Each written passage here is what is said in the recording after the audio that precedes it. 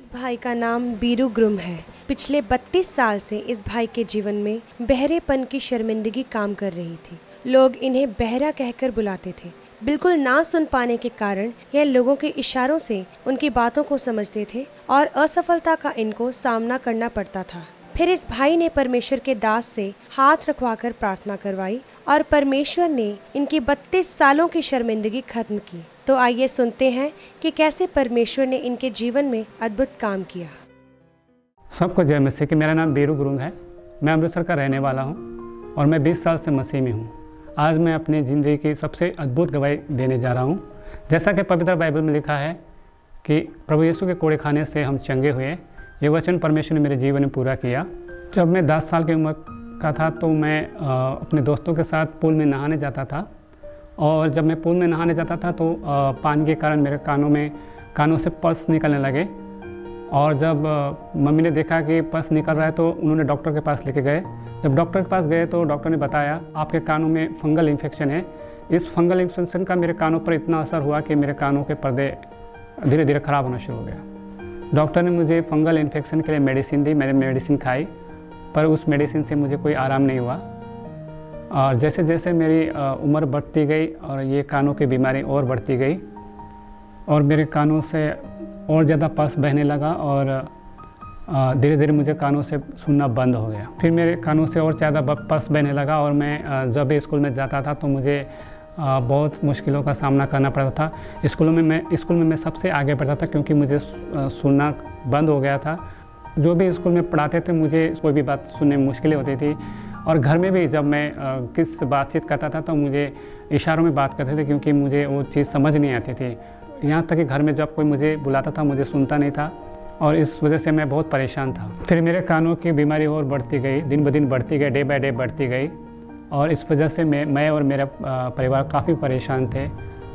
इस वजह से मेरे फैमिली ने, मेरे परिवार ने मुझे कानों के स्पेशलिस्ट डॉक्टर के पास ले गए। फिर डॉक्टर ने कहा कि आपके दोनों कानों के पर्दे फट चुके हैं और इसका ऑपरेशन करना पड़ेगा।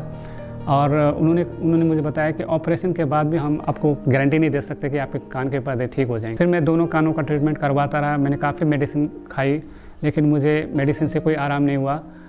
और इस वजह से मैं अपने जीवन में काफ़ी निराश हुआ। और मेरे हालात ऐसे हो चुके थे कि मुझे सुनता तो बिल्कुल नहीं था। और जस, जब भी मैं किसी की बात समझना होता था तो मैं उनके लिप को देखता था और उसको रीड करता था, पढ़ता था और उसकी बातों को समझने की कोशिश करता था। और जब मुझे कोई खाने के लिए बुलाता था तो मैं, मुझे इशारों से खाने के लिए बुलाते थे। और जो भी काम करना होता था तो वो इशारे करते थे पहले। अगर कोई मुझे बैठने के लिए बुलाते तो इशारे करके बुलाते थे कि आओ यहाँ पर बैठ जाओ। और जब मैं इशारों में बात करता था तो मेरे दोस्त आस पड़ोस लोग मेरा मज़ाक उड़ाते और मुझे इस वजह से काफ़ी शर्मिंदगी का सामना करना पड़ता था। दोनों कानों से सुने न देख कारण मुझे बहुत मुसीबतों का सामना करना पड़ा और फेलियर मेरे जीवन में काम करने लगा।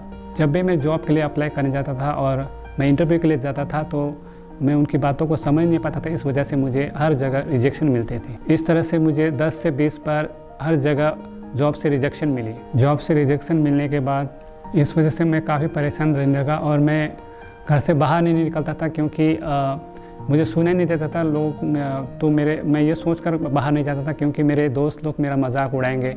ये सोच कर मैं बाहर नहीं जाता था और मैं काफ़ी परेशान रहता था और अकेलापन महसूस करता था और मैं घर पे रहने लगा और मैं काफ़ी डिप्रेशन में चला गया क्योंकि मेरे फैमिली मुझे जॉब के लिए परेशान करते थे तो और मैं ज़्यादा डिप्रेशन में चला गया। इस बहरेपन की वजह से मैं काफ़ी परेशान होने लगा और लोग मेरा मज़ाक उड़ाते थे। और मुझे बहरा बहरा करके बुलाते तो वो मुझे बहुत चुपता था। जब मैं अपनी लाइफ में पूरी तरह से टूट चुका था निराश हो चुका था मेरी आस टूट गई थी तो आ, मेरे एक भाई ने मुझे अंकुर नरूला मिनिस्ट्री खामरा चर्च में लेकर आए। जब मैं पहली बार खामरा चर्च में आया तो मुझे काफ़ी अच्छा लगा बहुत अच्छा लगा। और जब परमेश्वर के दास स्क्रीन पर कुछ कहते थे तो मैं उनके ओंठों को देखता था और तो मैं उनके इशारों को समझता था और मुझे पता चलता था कि यहाँ पे हीलिंग हो रही है। जब मैं देखता था कि लोग व्हील चेयर को छोड़ के जा रहे हैं तो मुझे ऐसा लगता था कि जब ये लोग चंगा हो सकते तो मैं क्यों नहीं चंगा हो सकता? फिर मेरे फैमिली मेरे लिए वाइट कार्ड बनवाया और 6 नौ 2018 को परमेश्वर के दास ने मेरे सिर पर हाथ रखकर प्रार्थना की। खुद में दे